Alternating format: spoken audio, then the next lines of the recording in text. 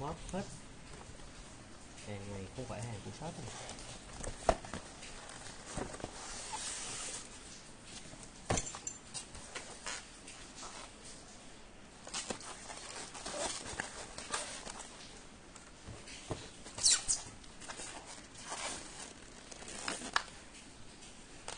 Thiếu một cục adapter.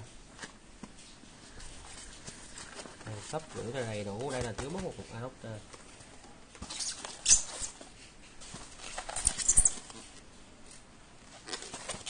Không bao giờ mà thiếu được. Đây ra xem xét nha. Thiếu mất cục sạc adapter